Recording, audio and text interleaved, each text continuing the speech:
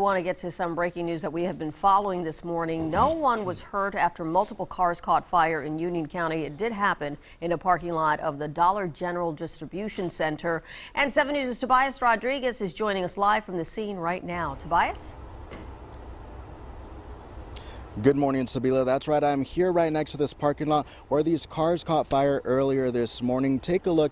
You can see that they're not on fire anymore. You don't even see any smoke left, but there were four cars that were on fire earlier. There are three fire crews that are still here right now that are still investigating. Right now, they don't know the cause of the fire. I was able to speak with the Jonesville fire captain earlier, and he says whenever they arrived that these cars were on fire, there was a lot of smoke, and there was also some fuel that did spill on to the ground. I was in that parking lot a little earlier and I was able to speak with some of the employees that actually caught their cars were on fire. They said that they actually found out that their cars were on fire while they were at work because somebody had the fire up on a live stream. So the pictures that you're seeing right now, that's when one of the employees came outside and took those pictures herself of her cars on fire. And so there are four cars that were damaged, but luckily no one was injured. There was no one in the cars at the time of the fire. And we're still working to figure out what happened.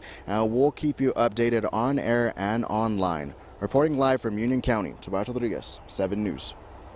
We'll be checking back in with you in the next half hour. Again, thanks a lot. We're also following some breaking news.